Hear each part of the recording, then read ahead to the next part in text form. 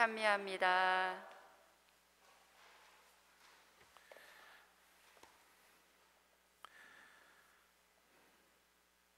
오소서 성령님 새로나게 하소서. 주인은 그 불의한 집사를 칭찬하였다. 그가 영리하게 대처하였기 때문이다. 안녕하세요.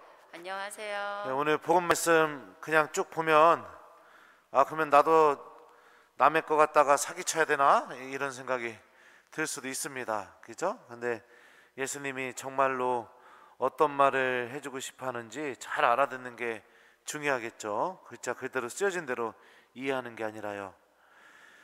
오늘 복음 비유의 마지막 부분에 보면 예수님이 이런 말씀을 하십니다. 주인은 그 불의한 집사를 칭찬하였다. 그가 영리하게 대처하였기 때문이다. 라고 이렇게 말씀하시죠. 집사가 영리하게 대처한 모습이 뭐죠?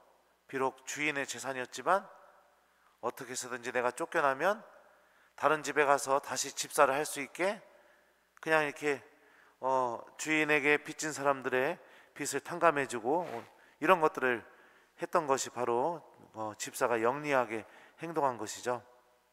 나에게 다, 닥쳐 있는 위기, 내가 어떻게 해서든지 잘 살아갈 수 없는 그런 상황이나 조건이 나에게 다가오게 될 때 가만히 있거나 에라 모르겠다 그냥 망하자 이렇게 있거나 그게 아니라 어떻게 해서든지 그 어려움과 위기를 해결해 하려고 할 방법은 분명히 틀렸지만 그럼에도 불구하고 어떻게 해서든지 그 어려움과 위기를 해결하려고 하는 것 그게 집사가 보여준 영리함입니다. 영리함.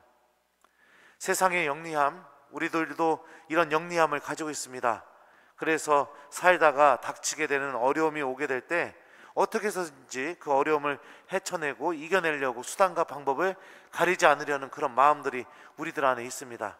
실제로 우리들은 그런 위기들을 앞에서도 그런 방법을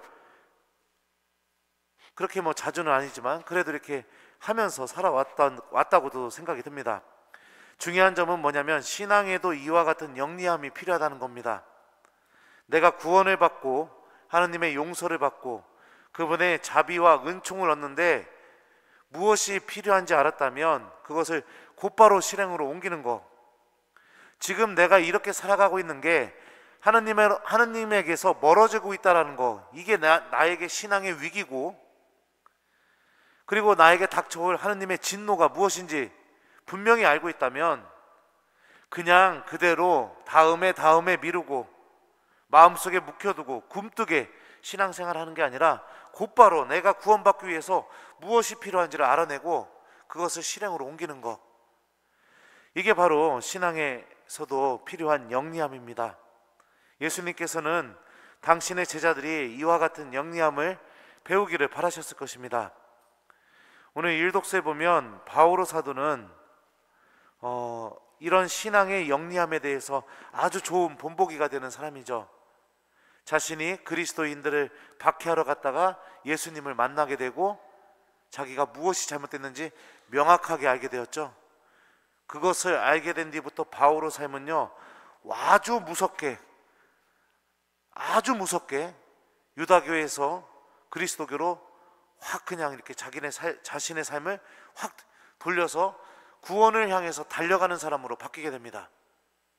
자신의 체면, 사람들의 평가, 인정, 사회적인 지위 하나도 생각 안 했습니다. 바울 사도는 내가 구원받는데 무엇이 필요한지 그걸 그것만 바라보고선 하느님을 향해서 예수님을 향해서 자신의 삶을 뿌리째 바꾼 사람이 바오로 사도죠.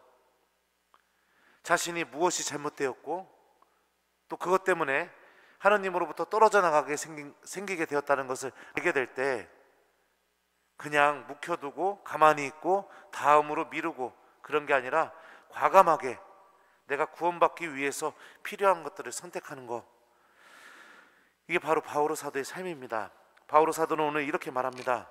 이 은총은 내가 다른 민족들을 위하여 그리스도 예수님의 종이 되어 하나님의 복음을 전하는 사제직을 수행하기 위한 것입니다. 그러므로 나는 그리스도 예수님 안에서 하나님을 위하여 일하는 것을 자랑으로 여깁니다. 예. 예수님을 위해서 일하는 거 그리고 아무도 하느님의 말씀을 또 예수님을 알지 못하는 그런 사람들에게 복음을 전하는 거 이것을 자랑으로 여긴다고 바오로 사도는 이렇게 고백합니다. 여러분들은 어떻습니까? 죄도 묵혀두시고 구원받는 길을 알고 있으면서도 그, 그 길로 향하지도 않고 그냥 내 신앙생활은 언제나 굼뜨고 그러고 있다면 우리들의 신앙에도 이런 집사와 같은 영리함은 필요하다고 생각은 안 드시나요? 언제까지 계속해서 그냥 그 내가 정해놓은 그런 삶의 방식 안에서 이렇게 안주하면서 살아가는 거 그것은 우리들이 구원을 얻게 도와주는데 그렇게 어, 큰 도움이 되지 못합니다.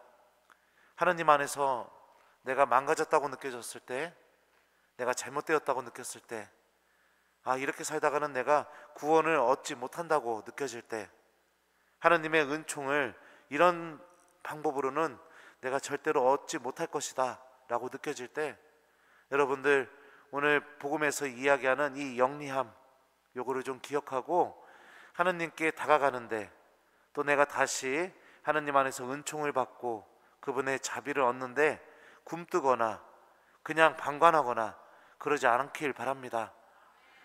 여러분들 생명을 얻기 위해서 움직이는 신앙인이 되십시오.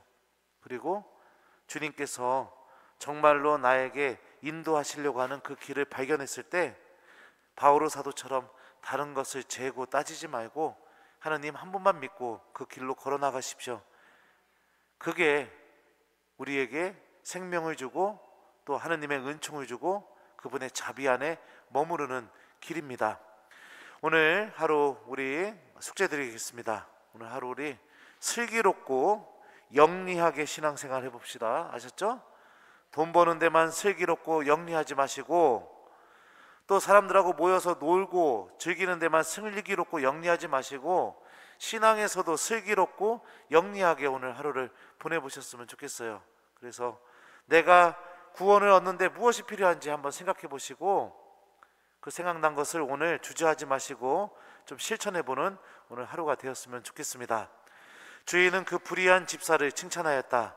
그가 영리하게 대처하였기 때문이다. 아멘.